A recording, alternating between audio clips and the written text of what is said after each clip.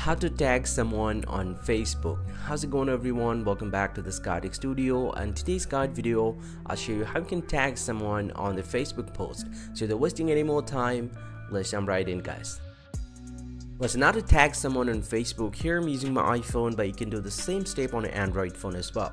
Simply, I'm gonna go ahead and open up the Facebook app right on my device, and from the home page, I'm gonna go ahead and tap on this menu button, and then go to my profile right here, and under the profile I'm gonna scroll down a little bit and you'll get to see your post option. What's on your mind? We're just gonna head over to this option. And this is how we actually post something.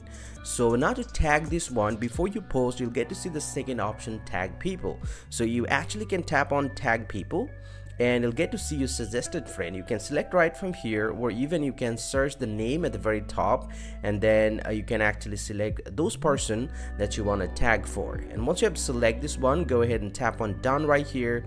Tap on done and here as you can see uh, the friend has been added to the tag list at the very top. Now you can easily post anything you want. But there's another option that you can face tag on facebook. Now to do that i'm gonna uh, just discard this post right over here.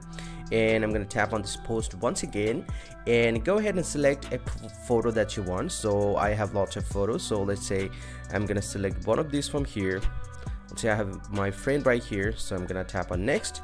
And once it's selected what you have to do you actually can face tag the people. So you just need to tap on uh, the face tap on the face like this. So you'll get to see uh, the tag icon at the top. You just need to tap on that and he'll get to see tap a face to tag. So I'm gonna tap on my friend face right here. You'll get to see the name.